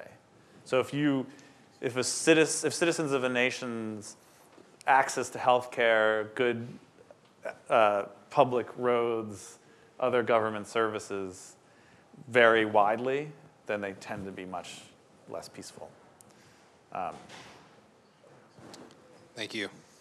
So we have one one question from our uh, online online audience. Wow. Dennis Wong from Connecticut uh, asks that earlier in the program, uh, measuring trust was mentioned, and he wanted to know whether or not it's capable or anyone is capable of measuring fear. Yeah. Uh, first of all, hi Dennis from Connecticut. we do measure fear. I mean, it's a part of the basic definition of, of peace that we use in the negative peace index. We define peace as the absence of violence or fear of violence. So, of the 23 indicators, um, so you see perceptions of criminality up at the top. Um, another measure, which if I scroll down more, I would get to, is um, a simple measure of do you feel safe walking at night? Um, and you know, those, those are really powerful um, predictors. And you know, there are, it gets complicated because the relationship between fear of crime and actual crime levels would fill the careers of enough criminologists to fill this room. Um, so it's a complicated issue. Some people feel uh, a lot more fearful than their actual crime levels would suggest. Um, so it's a complicated issue, but suffice to say that yes, fear is fear of crime and general perceptions. Um, and we talked about perceptions of legitimacy earlier as another domain, um, are critical to our research, and I think critical to understanding this issue. I don't know if you want to add any, anything. Okay. Donna, and then I had a hand over here. You'll be, you'll be next. Um, so I'd rather stand. so my name is Dana, and I'm a second graduate student at the CR program. And I'm originally from Syria. I came back. I was visiting actually three weeks ago, and came back. Um, I was visiting my family, and a few things. Um, I really, I, I, think for us as uh, um, researchers coming into learning about this work, this is extremely beneficial. I would say. Um, I think one thing I was thinking about when I was looking at it is that although it's a global index, um, I don't see the idea of the globalization in it. So what I mean by that is that it's an individualistic rating and ranking, which I, I personally have problems with. So when we talk about, okay, let's rank Iraq or Syria as bad, and then um, talk about where the US is, it's almost like put the, the stigma of badness on a country that suffered an invasion. Um, so you know yes. what I mean. So the thing is, is that yes. uh, it doesn't take into consideration a historical or um, um, I mean, and I know this is only nine years, but I was wondering about where's that you know trajectory of like, okay, so this is this is what was happening within the context, and this is how things now and you know we if we i'm just looking at it as only the ranking right so it's like oh this country is bad this country is good mm-hmm. um, i also want to uh, focus on what Dr. Cunliffe was saying is that uh, the idea of like the movement and the transfer trauma, I would say. So, for example, in the US, even if we want to talk about uh, coming uh, those who came from fighting in countries and they are now, for example, you know, when they are integrated into society, they're hired whether institutions or police, and that's creating the mistrust issue. I think, again, even on our campus, that's what we're talking about, is that those are trained soldiers, they are integrated. So I feel like, and with refugees going to Europe, I feel that's gonna become another issue, and how is that contributing then to the peace of those countries who are who have been peaceful and how their isolation is maybe contributing to this to peace, like Iceland, for example. It's so isolated, right? right? The United States is so far from the Middle East where it's, you know, it has wars directly on Afghanistan and Iraq, but then there's that distance. I remember, I remember so eloquently, um, uh, Harry, Dr. Anastasiou spoke about is that people have, some countries have the privilege of distance and that goes back to the neighboring countries. I could see it just crossing from Lebanon to Syria that Lebanon's going to go next. Like it, there was militarization on the border in Lebanon, and a small country like that is not going to take the hit, right, yeah. of Syria. So, uh, yeah, I think that's that's a long way for my question, but I guess like the globalized uh, and historical context, where is it within this ranking? Thank you. So, all right, great. We have some uh, methodological criticism to play with. This is exciting. So um, a couple things, and you've made a lot of really wise points. Um, so I guess three levels. One is we use the country as a unit of analysis. Um, now, that approach has advantages and disadvantages. I think an advantage is that it makes it easy to construct a global index. People understand the construct of a country. Um, but there's some disadvantages, uh, and you've pointed some of them out. Um, Another one that I would add, which is why we want to do work um, on a country level, is that you know countries have so much regional variation. So to, to use the country as a unit of analysis masks a lot of change and dynamism within that country. The other thing I would point out is that um, rankings, right? So we use rankings. Let's just say that. Um, and rankings are incredibly popular with the media. Um, the media love our rankings. It drives a lot of our news coverage. But rankings, um, I think you can ask a lot of questions about whether they're methodologically reliable. Like, a lot of the countries differ very by very small amounts, but yet it might matter to them that they're 140th as opposed to 144th. Um, so I think we've made the conscious choice to embrace the use of, of, of, rankings, but you know there are downsides to that. I think the third thing that you point out, which is really interesting, is um, to what degree does our index capture, for lack of a better word, externalities? Like, does it penalize a country for having things occur that were not really in the, control of the country? Um, and I guess I'd say two things. One is that whether the country is responsible for the conditions within, the, within the, their country or not, they're still experiencing it. So we're measuring peace in that country as it is. And so we have to capture that. Um, the other thing I would say is that we do actually try to accord ex, you know, the externalities back to the producer of the externality because a lot of our indicators that we use in the Global Peace Index do actually capture, say, America's uh, export of weapons or America's involvement in overseas conflicts. Um, just to cite one example, Norway fell out of the top 10 of the Global Peace Index for the very first time this year. And the chairman of my organization, Steve Killelea, was giving a presentation in Oslo. A lot of um, a lot of uh, concern and criticism. And what he said to them, uh, which I think was a, a winning argument, was that it turns out that as a percentage of GDP, this shocked me, Norway is the largest we weapons exporter in the world. Amazing. They have a huge weapons export business. Um, so we penalized them. They dropped in the rankings. That's why they dropped in the rankings. And so I think we're able to capture it to some extent, um, the concerns that you have.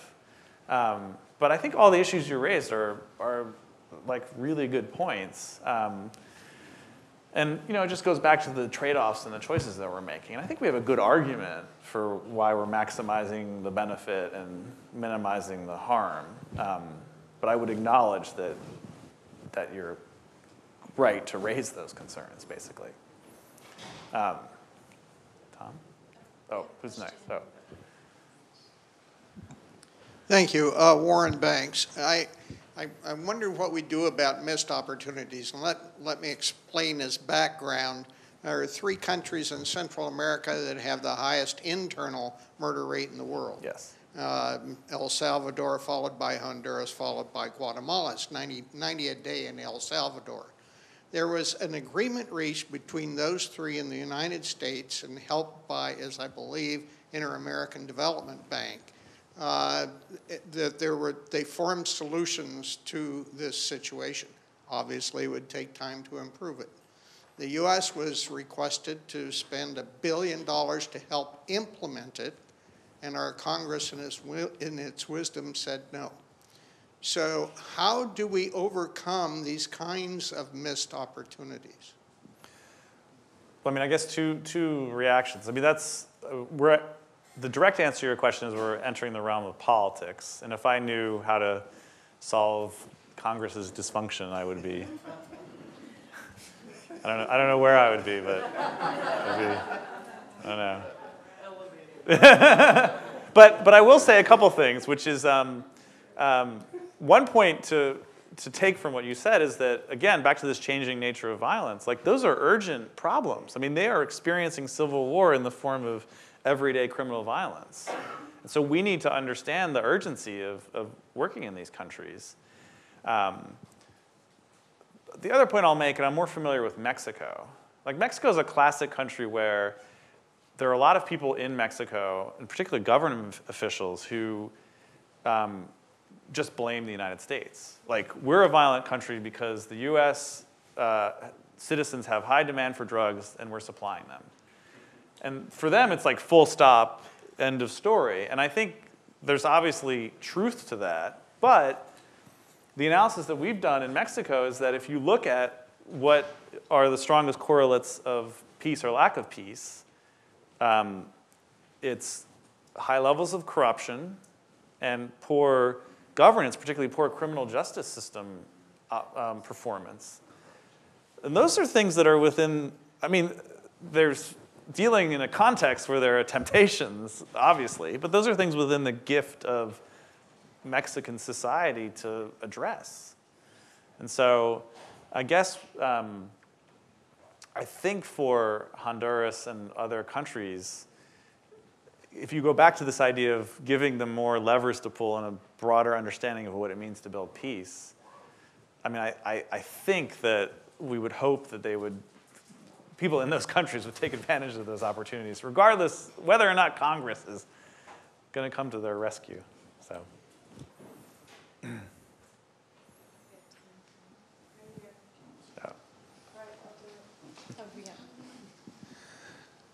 Um, Gordon Cran, Chair of the Rotarian Action Group for Peace.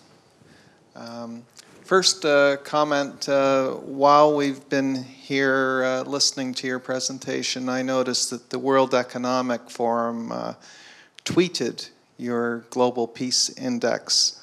Uh, cool. Uh, do, you, do you know the score of the Cubs game? I'm from Toronto. I'm a Blue Jays fan. More interested in the Blue Jays tomorrow against Texas. So.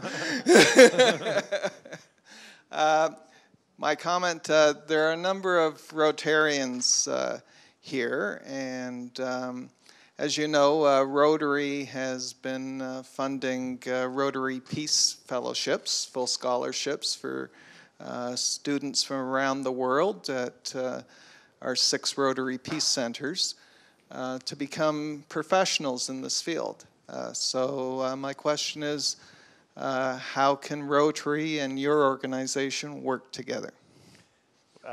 that question is almost a setup for me since I, I, spent a lot of time thinking about how Rotary and our organization can work together. So, for those of you who don't know, Rotary has 1.2 million members, 36,000 clubs, an incredible institution. It is um, in the final days of, literally, final days of, of ending polio in partnership with the Gates Foundation and the World Health Organization. So um, it's looking, it has to finish the job, but it's looking for its next issue to work on. And peace is one of the six areas of focus of Rotary. So if, if you're a peace organization looking for a partner who can really make progress, then why not go to the organization that ended polio, right? That's pretty good. Um, we are working a lot with Rotary. Uh, and just to cite one example, um, so we're an institution that cares a lot about educating the public and about communications. And so we, I talked earlier about the media reach of our uh, well, I should, maybe if I didn't, the Global Peace Index reached 1.5 billion people this year. Incredible, like really great numbers. Uh, we invest a lot in public relations um, and in getting our message out. I get on a lot of airplanes and our senior staff does too. So, but we're only scraping the surface of what, what we want to do. And so with Rotary, we have this great new program which we just announced where we're training Rotary Peace Fellows to become ambassadors for peace research. We're calling it 10 for the 10th, where we're training, get ready for a theme here, 10 Rotary Peace Fellows to give uh, presentations about the 10th edition of the Global Peace Index in 10 new cities. Uh, and we, have gotten so much interest already that we're probably going to have to expand the number of people we're going to let into the program. So I, this gets back to the professionalization theme. I think we live in this really interesting world now where it's, you know how, uh, this is going to be a really outlandish sounding analogy, but it used to be that rock bands made money selling the album, and they went on tour to promote selling the album. Now rock bands make no money selling albums because everyone gets it on Spotify or, you know, gets it illegally. The only way they make money is going on tour. So the an analog for us as an institution is that people want to have experiences of peace. They want to like hear from the person who um, wrote the index. They want to give the talk themselves. It's like a new world we live in. And so um, I think that's a great opportunity for people like us, which is how do you enlist people not just as passive receptacles of information, but like active participants in the process of coming out with a narrative around peace. And so the great thing about Rotary is that like any, they have 900 Peace Fellows, right? Over nine years, they've put 900 people from around the world, given them uh, two-year scholarships, free ride scholarships to go to a peace-related program. These are very passionate, brilliant people. So for us, it's like an amazing pool to draw upon. But if you start with 10 Rotary Peace Fellows, how do you go to 50? And how do you go to 100? How do you, you know, it's, it's an interesting question. Um, so uh, I guess if you don't know Rotary, you definitely should, um, because they're a wonderful organization. And uh, just a, one last example.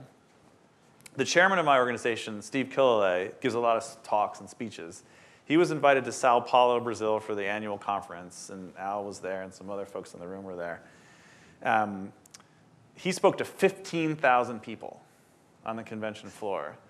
And Rotary was disappointed because they usually get 30 or 40,000 people to a conference.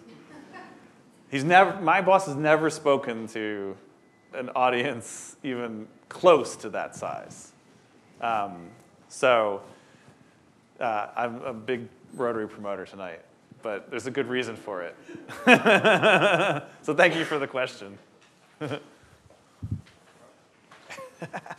would like to honor the time frame of our event, and but I will put Aubrey on the spot here to offer you up for a few questions afterwards. And also, if you want to send questions uh, via email, I'm going to put up an address on the website uh, tomorrow.